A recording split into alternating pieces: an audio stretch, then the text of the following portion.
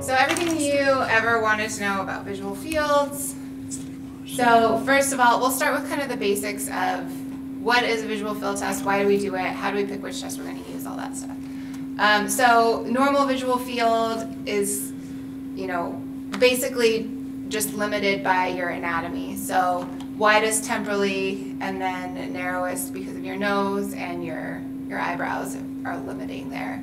Um, but that's what a normal visual field is. The vast majority of this um, is just very unsensitive areas of the retina. So that's why we only test within the central 30 degrees because that's where most of the retinal ganglion cells are located. And even within that 30 degrees, that peripheral edge of your 30 degree visual field isn't very sensitive. So what is a perimetry test? It's basically giving you a map of the visual field. There's two different kinds. There's the kinetic, which gives you a topographic map, and then there's the static, which gives you a vertical map. And um, what is an abnormal visual field? It's any defect or depression in sensitivity compared to the normal hill of vision. So your sensitivity is basically your ability to detect light. You can have a focal scotoma or diffuse, relative or absolute scotoma. And then this is the one the patients always want to know about. Well, how come I don't notice that I'm losing my vision? It's because of the filling in effect, which is the same reason why you don't notice your own blind spot. Your brain is taking your con context clues from everything else that's around and filling in that gap. Does the same thing with glaucoma. I tell I describe it to patients as like the Photoshop effect. So it basically your brain is taking what it thinks should be there and filling it in. That's why patients will sometimes, when they are first noticing their glaucoma, they'll say, hey, like when I play tennis, all of a sudden I feel like the ball is all of a sudden in my face. And that's because they're not able to compensate anymore. The movement of the ball is revealing all of their new visual field defects or why cars are like all of a sudden sneaking up on them. Their brain can't compensate for moving objects. And so that unmasks their visual field defects. So this is the diagram that you see in your books. And I never really understood what this was the whole time I was a resident. It made zero sense to me. I was like, I don't understand what this is trying to show me. Um, basically, if you think of your visual field as an island of vision in a sea of darkness, it's this kind of thing coming out of the water, and there's different levels of the ability of your visual field to detect light. So it can be measured in two different ways like an airplane looking down, doing an actual topographical map, and that's your Goldmann field, where the highest point in your visual field is your most sensitive. That's the area that can detect light the best. And then the lowest point is the peripheral field that has the lowest sensitivity. Or like a ship at sea that's actually seeing an island come out of the water, and that is a Humphrey visual field, if that makes sense. So there's your, there's your island. You're looking down on it from above, you're slicing those layers into layers of the cake, and then you get your topographical map. And each one of those lines is an isopter or a level of brightness. So this works, right? Mouse work? Does anything work? Whatever, you guys know. So the, the, far peripheral one is the brightest light, and then moving in and in and in is increasing, decreasing levels of brightness. Um, and then here is the vertical map. So in the middle, so the, the island of vision is measured by depth of sensitivity. So the highest, most sensitive point is the apex of the hill, which is your macula. And that's why the numbers in the middle of your visual field printout in the raw data are the biggest numbers because it's the most sensitive part.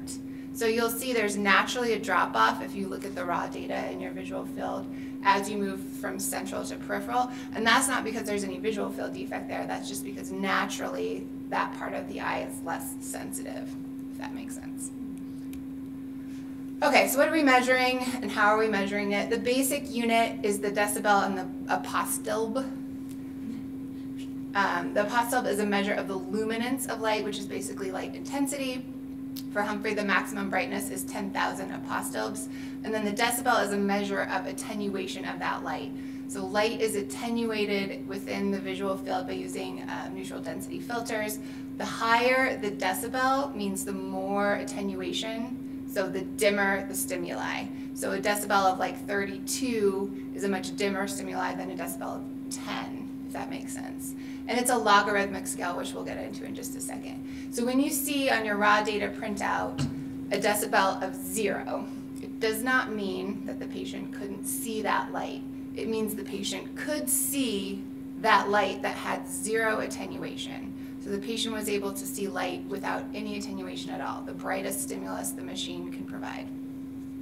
When the machine gives you a value of less than zero, again, it doesn't mean that the patient is absolutely blind in that area. It just means their patient's not capable of seeing the brightest light that the machine can produce. But if you take a Finoff and shine it in their eye, you know, they can see something.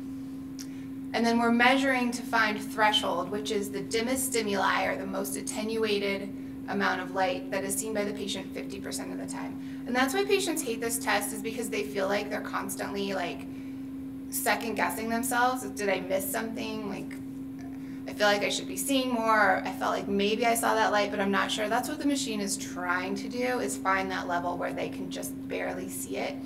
Once I tell them that, oftentimes they feel a lot better about taking the test. So, sorry, this makes me laugh. You should read it.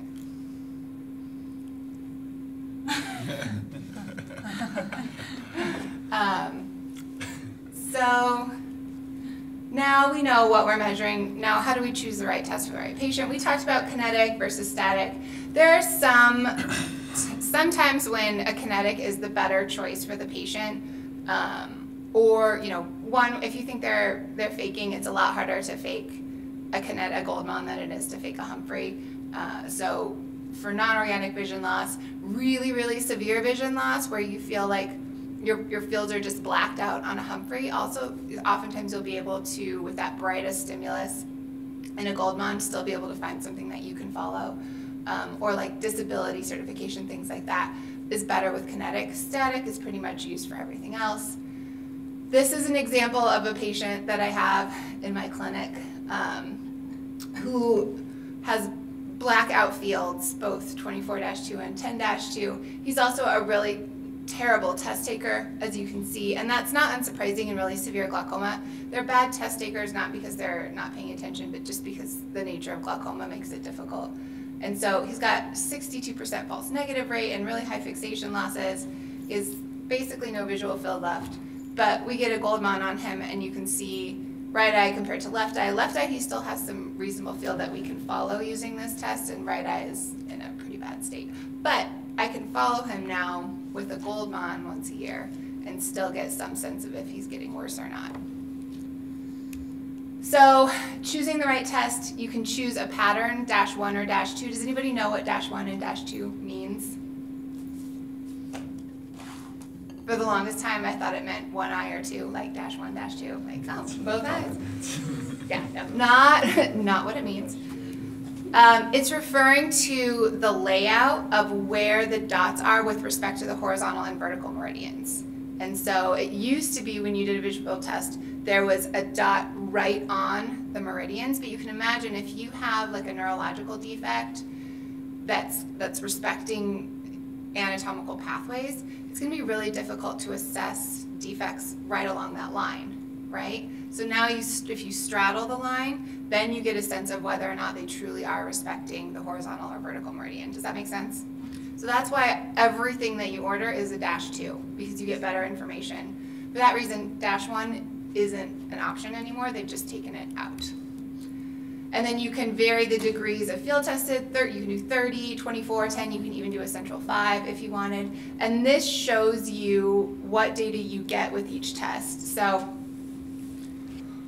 this big one here is the 30, and then I drew in the line to show you what data you're getting with the 24. So the difference in information that's gathered between a 24-2 and a 30-2 really isn't that much. Mm-hmm. It's just that very far peripheral rim of testing. And you can see nasally, you often, you will always get the, the nasal 30 degrees, even in a 24-2, so that you're not missing a nasal step. The reason why 24 is now done instead of 30 is the vast majority of times you're getting defects in that very far periphery. It's not real, it's artifactual due to decreased sensitivity of that part of the retina.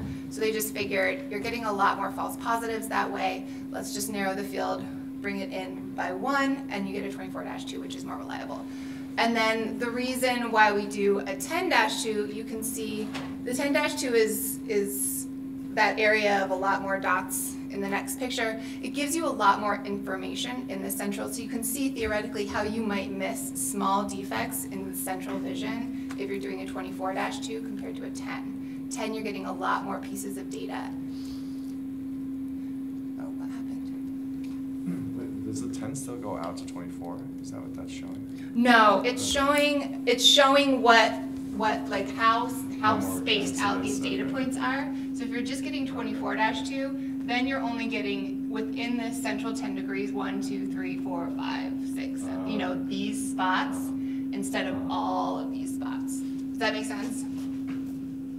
So in a patient where, like if you had like a, a central defect right here, it would be hard to know if it's getting worse just doing a 24-2 with these points. So you could do a 10-2 and that would zoom in on that area and give you a lot more data points and you'd be able to better assess for progression. Does that make sense? Wouldn't you just do a combined one? You can, you can. The problem you run into is so length. Yeah. And so there are some people who say, you know, if you have patients with any type of central or paracentral defects, they should be getting 10-2s and 24-2s every time you do a visual field test. It ends up being most patients don't tolerate that. I try and all like do like try and do like a 10-2 on a central defect patient like once every 18 months while I'm also doing 24-2s. So it ends up, you know, I think you get really valuable data from it. Certainly if the only defect that they had was a 10-2 or was a central, you could do 10-2s and then maybe once in a while do a 24-2 to make sure you're not, you know, missing new nasal steps. Um, the very newest Humphrey is coming up with some kind of modified hybrid between a 24 and a 10 where the central testing has more data points in between. But we don't have that capacity yet. And so then you can also vary the size. Standard size is a size 3, um, but you can increase it. Oftentimes we'll bump it up to a size 5 in patients with really poor vision. You can also do 1, 2, and 4, but just don't for some reason. Those aren't used. You can see relative to the blind spot, they're all much smaller than the relative blind spot, and they all increase by a factor of 4. That's, I think, OKAPS question.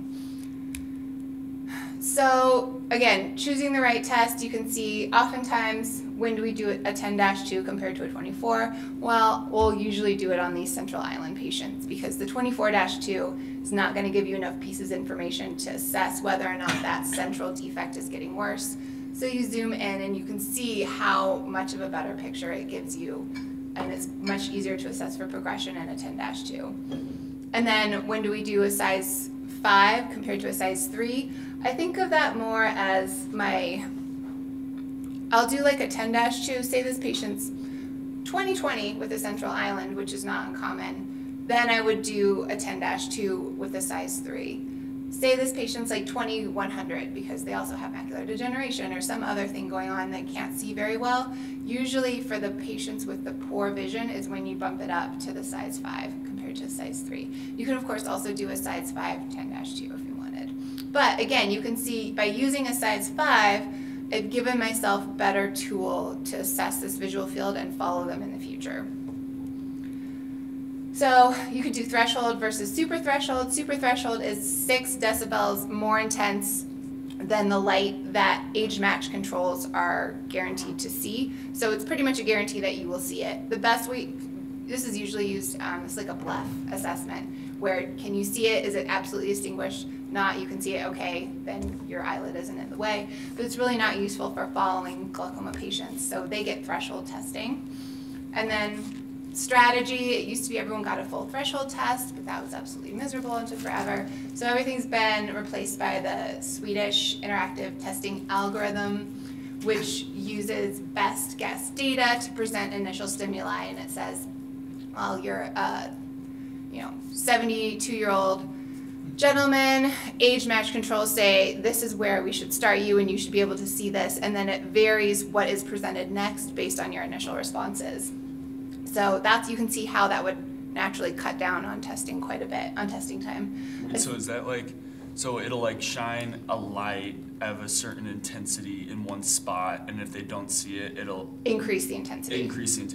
We're, okay, what did the other ones do? They just, they did all light intensities. Oh, really? Mhm. Even, but. It was not adaptive. It wouldn't, it would just be like start, It would just be the same for everybody. yeah, That's terrible. yeah. So you can see why it used to You take forever.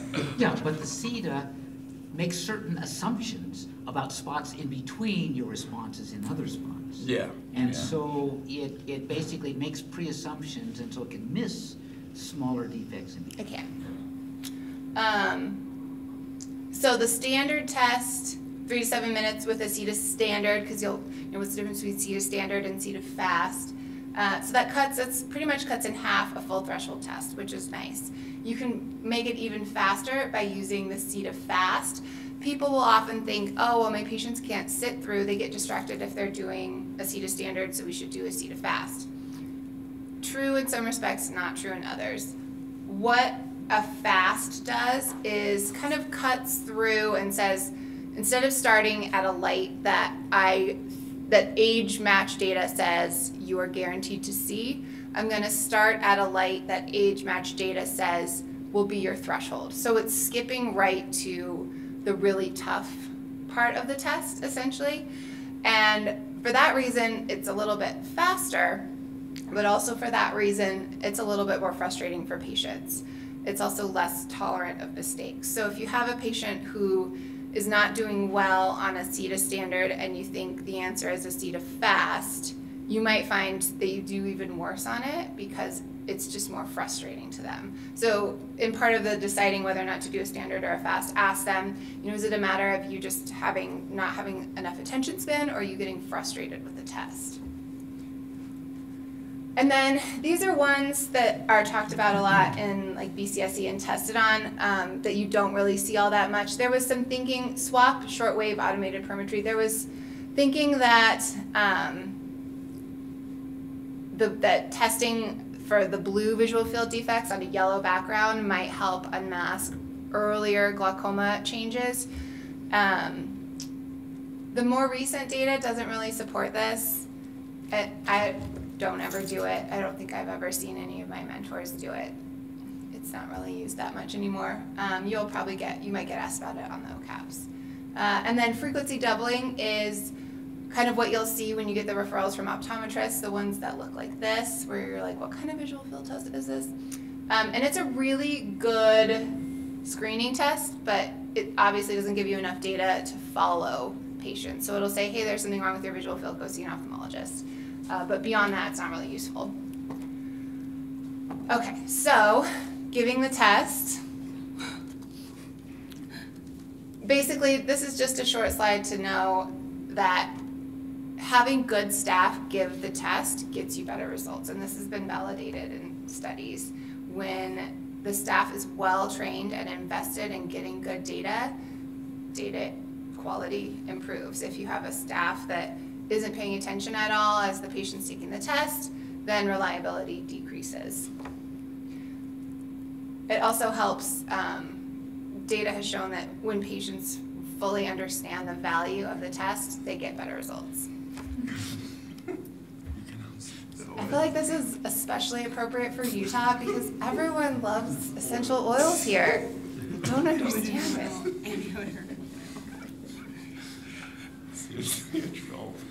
Okay, so what are we looking at? Now we're now we're on to figuring out what this test is trying to show us. This thing is called the SFA, Single Field Analysis Report.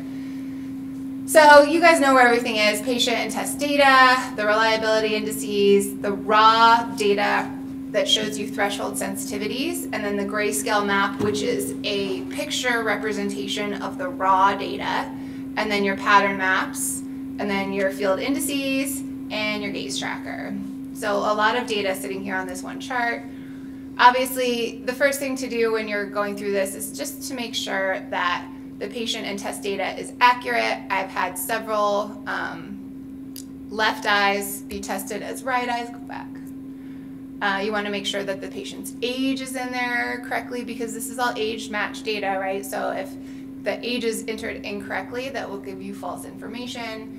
Uh, you know, in the book, you'll read about pupil size and how that can give you like a ring artifact if it's too small. I don't know if that I've ever seen that. And then it'll obviously tell you what test you're getting.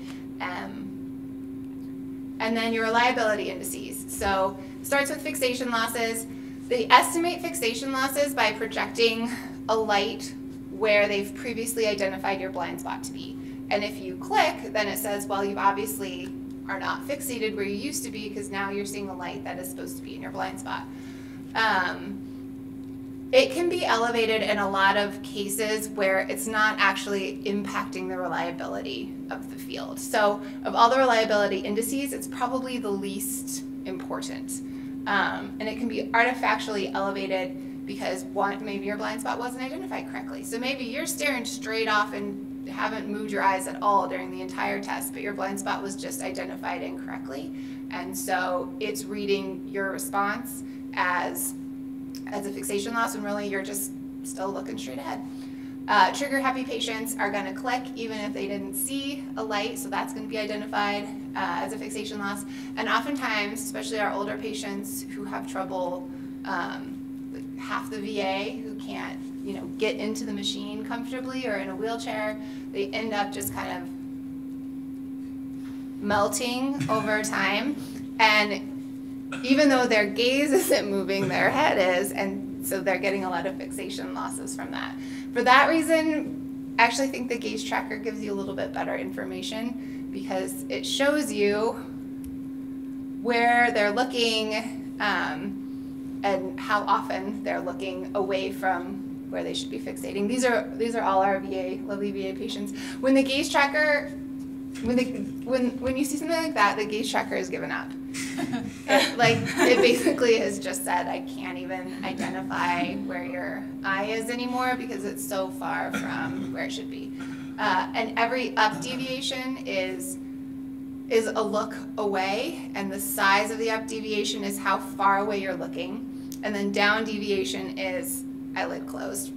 I had a really good one where it's just like a bar of Downward. down, and that's where the patient fell asleep, and I can't find it. You'll see that at the VA not infrequently. So then false positives, that's the machine trying to trick you into responding when there really isn't a stimulus. It's the most important reliability of the indices, and we'll talk about why that is in a minute. Um, but anything really over 15% is essentially a garbage test and not reliable anymore. False negatives are found by presenting super threshold stimuli in a location that we've already established um, you have normal sensitivity, if that makes sense. And then um, it's frequently elevated in glaucoma patients, even highly attentive ones, just because the nature of those defects. Oftentimes, if you're shining like right on the edge of a scotoma, sometimes they can see it and sometimes they can't. It's not that they're unreliable in taking the test, it's just they're just responding to the nature of their glaucoma. Okay, so now we get to the data, the raw threshold data and grayscale. So when you get your printout and you see the numbers right next to your grayscale data, that is just pure sensitivity in decibels. So that's where you'll see the numbers are highest here in the middle, 34, 33. That's your best sensitivity in your macula, and then they fall off as you go towards the periphery. Less than zero means you didn't respond to the brightest stimuli. Zero means you responded only to the brightest stimuli. And then it's a logarithmic scale after that. So 10 decibels is a brightness, 1 tenth as bright as max, 20 decibels is 1 one hundredth as bright as max, and maximum threshold is about like 38 for young, healthy individuals like us. And then the grayscale map is a visual representation of the raw threshold data, which is why you have to be cautious when you use the grayscale only. If you're just looking at the grayscale to judge a visual field, it's going to give you not all that reliable of data because you need that aged match. And we'll talk about that in a second. So again, just to, just as a reminder, so what do you think this patient sees? They're less than zero everywhere. Where's my mouse? It was working just a second Oh, ago, was wasn't it? Oh no, oh, that's not, that's my thing. So less than zero everywhere except for here, two, five, three, three. That's a good. Sorry. How, how, what, guess the cutie? 2020. 2020. Yeah.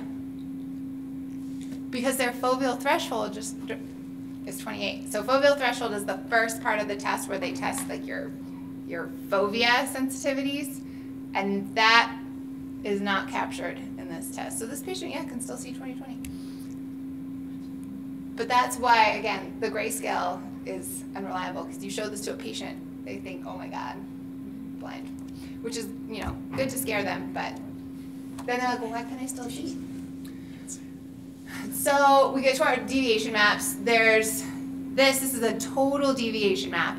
And you have the numerical map on top and then the probability map on the bottom. And what this is, is comparing that raw data to your age match controls and saying what is the difference in sensitivity between what you responded and what someone your age should respond to. And so that's why this is almost always slightly negative. You'll see these numbers if you look at them in our in our patients. You know, it's like minus one, minus two, or minus 20 or minus 30, depending on the depth of the defect. So this, um, every once in a while you'll see a positive, like up here this patient maybe they had eyelid surgery compared to all their other age match peers who have some ptosis and so they actually see a little bit better in this area which is why these numbers are positive. So compared to their peers they see they have higher sensitivities here and then a little bit lower sensitivities everywhere else. And then the question is well is this just kind of like normal amount of variation or is this pathologic? And that is what the probability map is telling you is what is the chance that this is pathologic compared to what normal is. And so it's, you know, it's graded. There's a less than 5% chance that this is normal. There's a less than 2% chance that this is normal, less than 1% chance, and less than 0.5% chance that this is normal. So that is what the probability map is showing you. How does it, how does it, uh, How does how it does it calc, yeah. Magic. I mean, I feel like, cause like that total deviation map is like, okay, this is, that's just so great. It, I mean, they just have, must have done like huge studies. There's huge numbers. Yeah, okay. I don't know. It's an, it would be interesting to look into how often those numbers are updated. like how often do you update your age match norms? I don't know the answer to that. Not even age match norms, but the, the probability of Uh, yeah, the of age match being, norms being being- pathological or not pathological. It's a lot of assumptions. It's a lot. Yeah. Little statistician in there, values. Yeah, I Yeah, know inside the machine. Yeah. So then we go to our pattern deviation maps. And just like with your total deviation, your pattern deviation gives you your numerical map on the top and then your, um, your probability map on the bottom. And the difference between the two is the numerical map in the pattern deviation is adjusting for sensitivity, assuming an overall decline in vision. So it's saying, we know that probably at your age, everyone's got a little bit of a cataract uh, or something. There's some kind of maybe media opacity. And so we're gonna we're gonna screen that out. It takes the seventh most sensitive non-edge spot and sets that as normal. Non-edge because these are often much less reliable. So it doesn't want to use one of these. It uses these kind of more central spots and says, what is the seventh most sensitive spot in the field? We're going to make that our new normal and set that as zero. So you can see here in the total deviation numerical map, this is a minus two. It's been set to a zero now. So this is now the new baseline and everything else is compared to this. So saying we expect overall that given this patient's overall decline in their field, all these numbers can be subtracted by, by minus two, essentially. And that will screen out whatever media opacity is affecting their visual field. And that leaves you, that's why you'll see, we often will look at the pattern deviation maps first because it screens out everything else that's going on in the eye and attempts to unmask their focal defects. Well, that's why we say most clinically useful analysis negates worsening cataracts and it also de-emphasizes common artifactual patterns like eyelids or rim artifact. Does that make, does that make sense? This also explains why high false positives are the worst kind of error that you can make on a visual field. Because if you are going along taking your test and you're clicking at everything, the computer is going to measure your sensitivity as being a lot higher than what it should be. And then it's gonna take that information when it's going from your total deviation to your pattern deviation, and it's gonna set an artif- artificially high number as the standard for your pattern deviation. And then it's gonna unmask defects that really aren't there at all, if that's making sense. That's why when you see when you see these like big white spots over here, where this means super high um, false positives, or this means super high sensitivity, like there's there's like no defects here at all. It unmasks this giant field defect here that's not even seen on your total deviation, because this patient responded with like I don't know, probably like a plus three or a plus four, plus five compared to age match controls. That makes this whole field look bad once you set a plus four as the norm. So that's why false positives make everything unreliable. Any questions about that? Are those plus ones through fives or whatever, like, are those all in decibels also, or are they some different scale? Th- There, this is all, this is on decibels. Okay. It's like the difference in decibels. So it's like a minus, you're minus one decibel from your thirty-four in this spot, or your thirty-four in that spot, is two decibels higher than the age match controls. So when you have a field that looks like that on the right, the, Uh-huh. that where the pattern deviation is Way just- worse. Yes, it, like that's pretty unreliable, Yeah. right? Okay. You don't know, like, maybe they do have a defect there, but you have no reliability to know what it looks like. What if the opposite is true? If the opposite is true, So if there's, you have a ton of total deviation but no pattern, then that points towards Cataract or dry eye. okay, gl- either global media opacity, like cataract, dry eye. Or they can't even like the seventh most Corneal sensitive. edema. Okay, Usually, that's what that means. okay. Oh, We'll talk about that right now. Um, so when you compare total deviation to pattern deviation, if they're identical, that means there's no generalized depression present. So like this, those two maps are exactly identical. They have a small field defect, looks like a little, you know, oh, kind of nasally step there. Um, but there's no other thing, there's no media opacity, nothing else going on. You can have a big total deviation depression without a focal pattern, which points to media opacity. Or you can have pattern deviation a lot worse than total deviation, and that almost always points to a high false positive rate. There's one instance where it doesn't. If you know, if the patient's like crazy reliable and they have amazing vision, but they also have early glaucoma, every once in a while you'll see a pattern. You'll see pattern deviation show a defect that doesn't show up on total deviation. The way you would know the difference is because you don't have a high false positive rate. If that makes sense.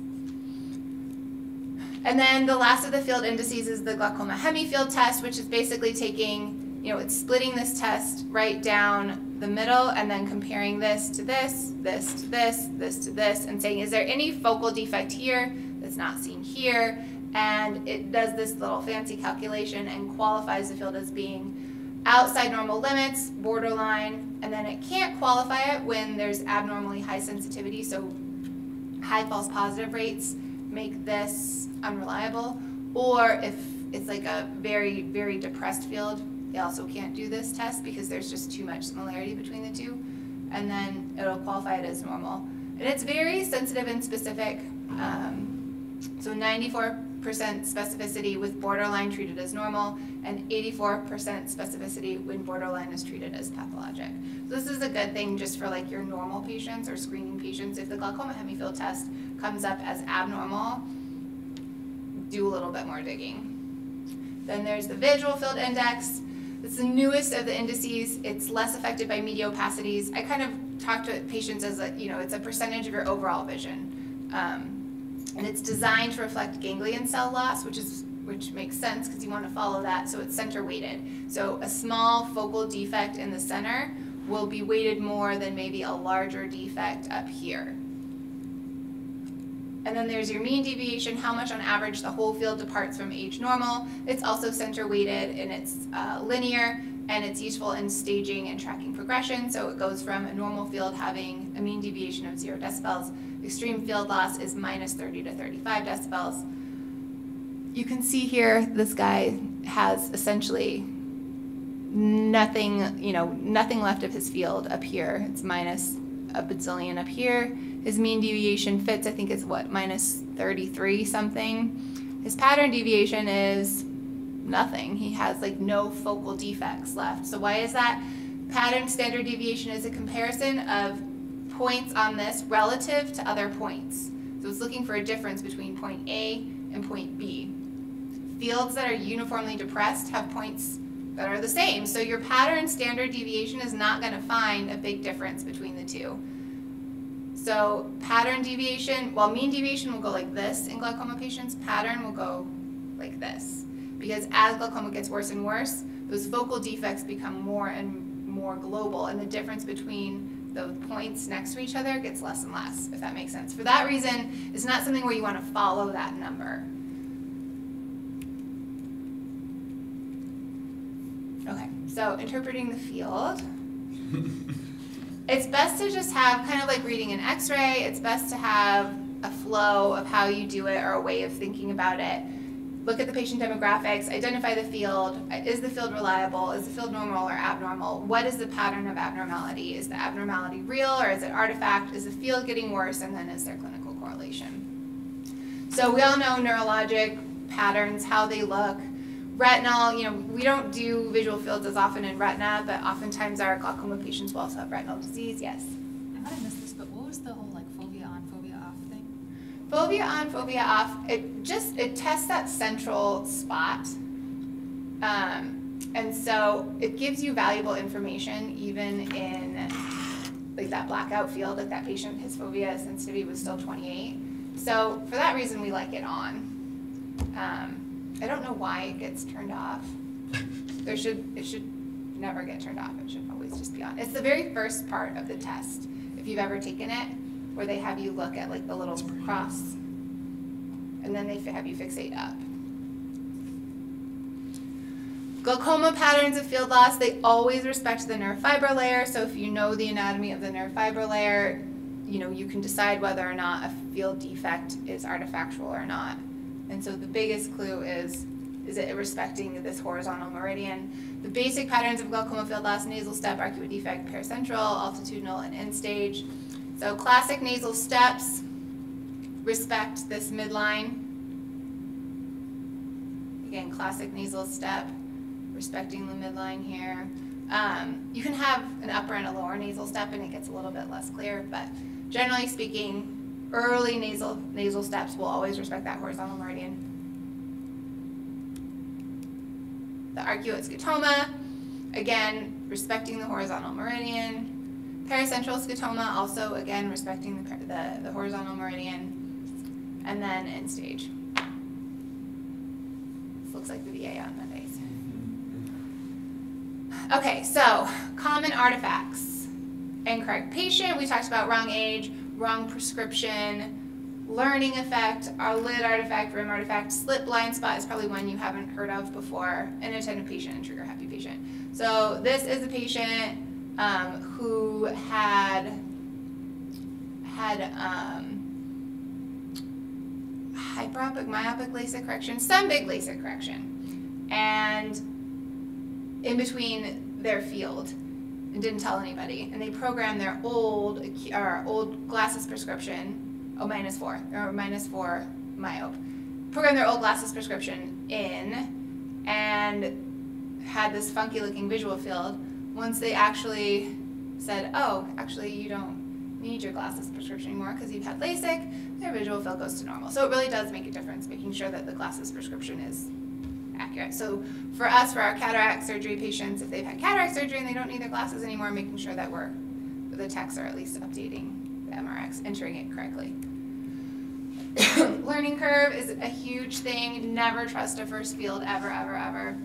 There are people who say you should get three fields in three months on patients where you're trying to decide if they have glaucoma just to see whether these defects are reappearing. Um, I don't do it quite that much, but I do try and get two fields in three months um, because of this. Because people take crap tests when they're first starting, and then they figure it out, and their test gets much better.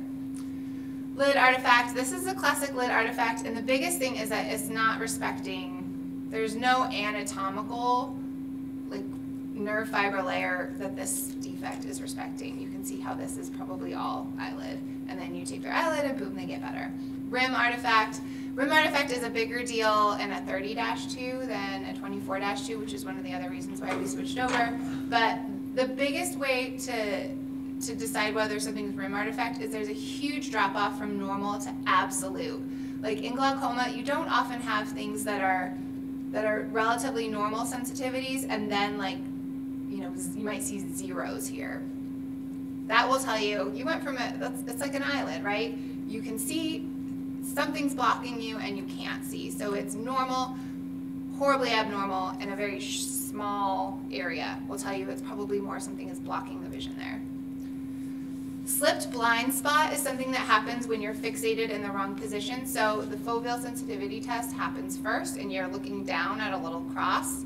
Sometimes patients will forget to refixate up on the gaze tracker part of it. So if they're spending the whole time looking down here, it's gonna show their blind spot being too low and it's gonna bring kind of random retina into this top part of the field that shouldn't be in there, that's not as sensitive.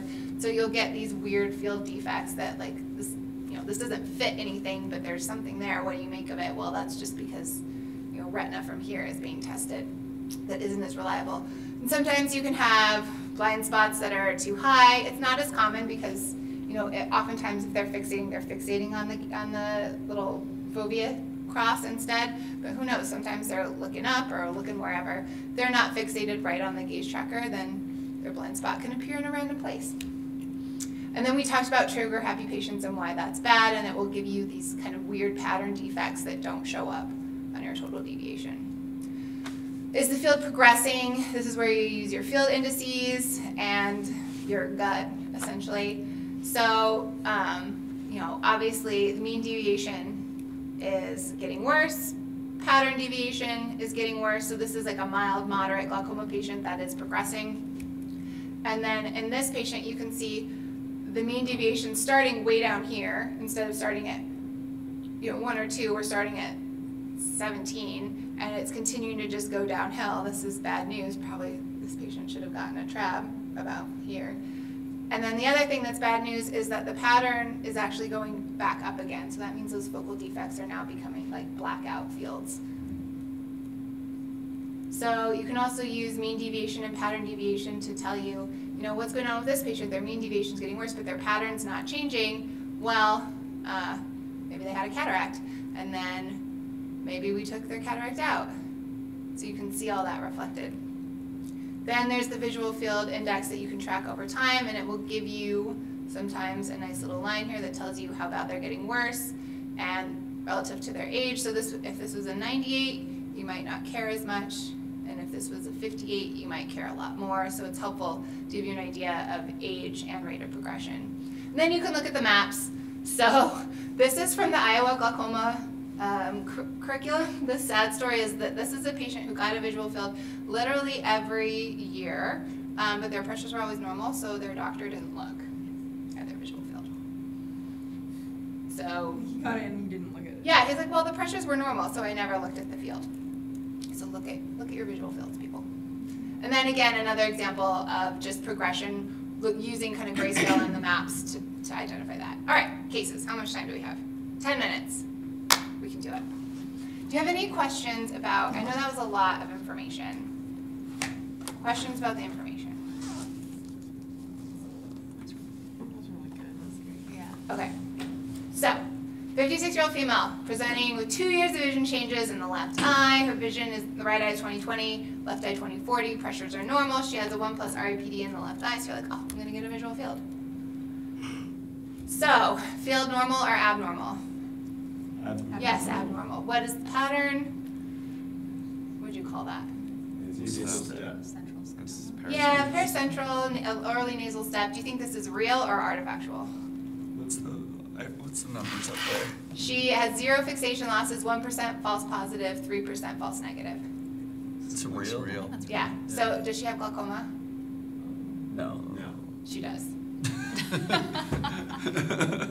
This is a patient, this is, it's actually sad, this patient has been coming to us for two years complaining of visual field. Her visual field looks worse than this actually, but the story is, is accurate. The patient has been coming to us for two years complaining of vision changes in her left eye. And we got, we finally got a field on her and she has normal pressure glaucoma um, and has lost quite a bit of vision in her left eye. Um, but she has really tilted nerves, so it's hard to see, you know, it's hard to see cupping. And for a long time, her vision was still 20/20 in this eye. It wasn't until she had an RAPD that you started, and actually, it's probably a little bit bigger RAPD, um, that we got a field. So, moral of the story: if a patient complains of like funny vision problems in an eye, just get a visual field on them. and Make sure there's nothing funny going on. Okay, so yeah, paracentral scotomas most common in normal tension glaucoma, and they can be really small, but since they're central, they can really mess up a patient's vision. Okay, case number two. 51-year-old male post motor vehicle accident with persistent headaches and vision problems. He says he can't see anything. He's 2100 in both eyes. Pressures are normal, no RAPD, and you get a field on him. So, is the field normal or abnormal? Abnormal. Okay, what is this pattern? Superior arcuate and. It looks, yeah, maybe a little nasal, something. It's kind of a weird. Uh, do you think this is real or artifactual? A lot of false negatives, but not false positives. False negatives are okay, Yeah. right? Below 33, is that what? False negatives are okay. Better than false positives, is true. Yes. It's kind of cloverleafy. Yeah. How, how soon post uh, MVA? Uh, like six Still months. swollen? No.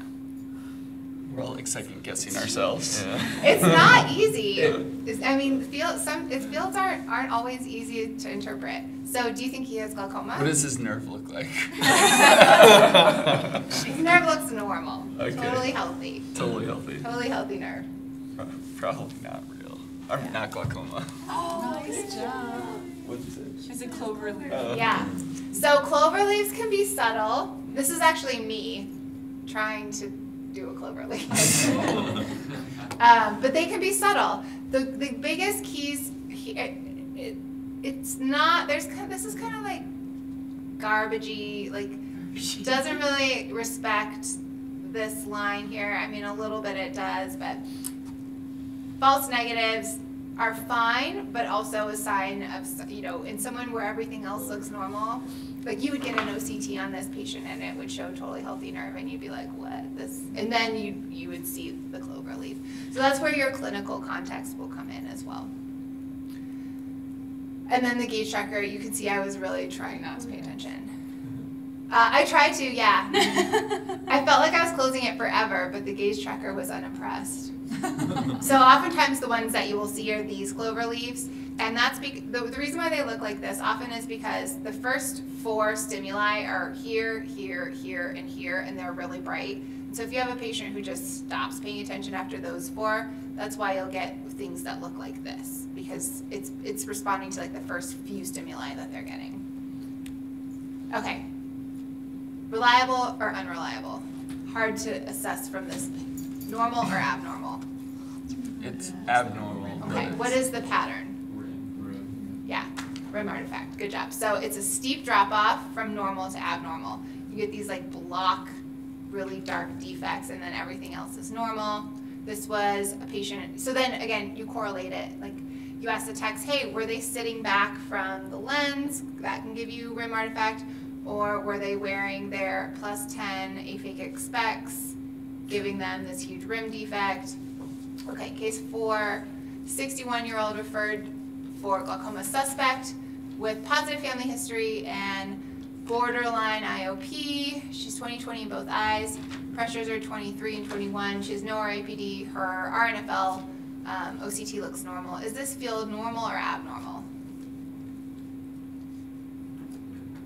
Feel it's normal. Field looks mostly normal. What do you make of these right here? Oh, you guys are so smart. she has high false positives, 19%. So, do you think she has glaucoma? Maybe, but not right now. Yeah. Good job, there's a disconnect there. So again, this is a, a patient who is a little bit trigger happy, she was maybe a little bit nervous. She doesn't have glaucoma yet, you'd still wanna follow her. Her Okay. She doesn't do her fields correctly. She's gonna get it. Is the field reliable? Yes, it was. Is the field normal or abnormal? Abnormal. Obviously, it's abnormal. What pattern is there? Right, so what do you think this patient has? Wrong, wrong age put in. Yeah, cataract. Okay. So this one, apparently I didn't animate this one. This one is, you know, what, what do you notice here? There's all this generalized depression, right? But when you screen that generalized depression out, there's still this superior arcuate defect here. So what do you think this is? Glaucoma. And a cataract. Take out Glaucoma the and a cataract. cataract, so that's what these looks like. A lot of total deviation. Extend. When that's screened out, you still have this nasal defect, this partial arcuate. Same thing here, a lot of deviation, but still have this defect here. Okay. This one's tricky. What is that? Is that It's reli- this field is reliable. Is this normal or abnormal? abnormal? What is the pattern? nasal step? Is this glaucoma? Yes. No. This is, I'll tell you why in just a second. Compared to this one, reliable, abnormal, nasal step, is this glaucoma? Yes. Yes. This first just is not respecting this midline. This nasal part here, it's, remember, that's, that's the only part of a twenty-four two that's testing your thirty degrees. You're a lot more likely to just get, um, like rim artifact, if you're gonna get it, will show up here and nowhere else. So, be careful, Just. So it's really unlikely to get like a, like a upper and lower nasal step in an early glaucoma? in early glaucoma like this, where there's nothing else, yeah, that would be really uncommon, to just have one spot here and one spot here without really anything else.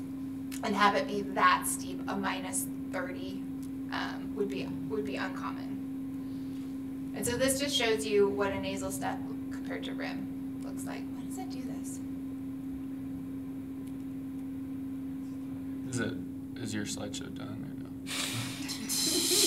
Sometimes it doesn't when it's done. That's just, Yeah, okay. Four more, these ones are fast. Okay, progression or no progression? This was the field in December two thousand seventeen. This is the field in July two thousand nineteen. Do I need to do a trab on this patient? What do you think? Doesn't hmm. Yeah. It's certainly bad. But then you look at her other eye. Oh. And you realize she is having a stroke in your clinic and you send her to the emergency room. Oh, that actually happened. Oh, yeah, so just a reminder, and I am guilty of this because especially in the way that we can look at things in Epic through Axis, you're often, when you're doing a side-by-side comparison, you're not looking at, I don't start always by looking at the two fields, like the right and the left eye together. I look at right eye compared to previous right eye, right? Because I'm always looking to see if there's progression. So don't forget to look at the field as a whole so that you can make sure your patient's not dying. Okay. So this is October 2018, March 2019. Are they getting worse? Do I need to do a trab on this patient? Take out the cataract. This field looks a little bit different compared to this field, right? Yeah. It's like what, nine out of fourteen fixation losses on This field is a size five. This field is a size three. Hmm. So this patient's seeing a lot better because the stimulus is, you know, bigger by a factor of 16. So this is just a reminder, you can't compare apples to oranges. You have to do the same test on the same patient repeatedly. Again, this happens at the VA all the time, where we want a size five and they get a size three, and it's just garbage. You can't use it to compare or assess for progression. So then you get her back doing her normal, and her field looks great again, and you've saved yourself from having to do surgery on this poor nice lady. Okay, what about this one? April 2019 to July 2019. This was a guy that Dr. C sent me and was like, "Hey, does he have glaucoma?" And this was the field he had coming to me, and then when I repeated it, like I said, I do about three months later, try and get a second field, it looked like this. And I had a minor heart attack. Um, so what do you do, what do you do for this guy? Are all the? I can't see any of the numbers. Are they all the same? He's pretty reliable. He's Yeah. like one out of twenty-three, 4% false negatives. What about what? The size of the stimulus. Same. Same. Everything's the same. Did he fall asleep? He did not fall asleep. He just told me when I asked him, I said, "Your field looks a whole lot worse, and I'm really worried about you." He said, "I didn't feel like doing it, so Oh. He didn't feel like doing it. I didn't know why I was doing another one so soon, and it annoyed me, and I was mad." Oh my god. So I said, well, according to your field, you're going blind, and I need you to actually do it. And I explained to him very carefully why it was important. And his field went from this. I said, I'm going to make you come back in a month and do it again and prove to me that you can do it. And then his field looked like this. So again, don't trust progression until you confirm it. So if you see a field and it's a lot worse than what it was before, before you decide to do surgery on these patients, bring them back and make them do another test. I mean, he still has glaucoma, right? He still has glaucoma. Okay. I, yeah, he still has glaucoma. Okay. He's also like 45, and he's probably normal pressure glaucoma is a disaster. If you suspect uh, like an abnormal result like that, how soon should you re- repeat? I, I made him come back two weeks later. I said I'm going to give you two two week vacation to get over your bitterness about this test, and then you're going to come back and take it, or otherwise I'm going to operate on your eye. and he was like, all right, fine, I'll do better. So how did he not have any like false negatives? He's just really good at not. I don't know. I mean, that just goes to show you that this is this is we're objectifying a subjective experience and patients. I mean, like you'll see field fluctuation with nor like Teresa brought me one from the VA. The patient's a good test taker, and from test to test went from horrible to great with no change in their reliability indices. So, you know, I don't know how they do it but they they can. And it makes it difficult because you don't know. You don't know which one is the right one right? Were you just having like a remarkable day or you know which one is the real one? So that's why whenever you're not sure the moral of the story is repeat your fields like just if you're if you if something's funny just repeat it explain to the patient tell them why it's important they won't get mad at you repeat the field I feel like it's the Unless they're VA. Wyoming. The VA, oh that's all like repeat visual field, visual field. Yeah, I make the VA guys come back all the time. Yeah. Also, oh, I will I will say one word. If they have repeatedly shown you, That's Wait, gross. what is that? would you guys notice like the eyebrows? It really is true. Like eyebrow trends are like pencil, then Oh, normal, 2029, and now like a bushy eyebrow is super in. Isn't Yeah. um, So they're saying if this trend continues, soon you're gonna have It'd be a super weird visual. Pony eyebrow. uh, I know. Ew. We're gonna have to. Um, the other thing I will say, I my rule is if you live to 90, your 90th birthday present is you don't have to take fields anymore as long as your pressures are like relatively well controlled. Um, because, you know, they're not 60 anymore. I don't have to keep them seeing 40 years. I only have to keep them seeing 10 years. Also, if you've proven time and time again that you are a bad visual field test taker and you just can't do it, we shouldn't keep making you do it. So at the VA in particular, be aggressive about saying, hey, this patient has never once had a quality field and yet we keep trying. So when I say repeat the field, repeat the field within reason, but if you've done four fields on a patient and he just can't, he's falling asleep every single time, don't make him do any more fields. There's no point. Question?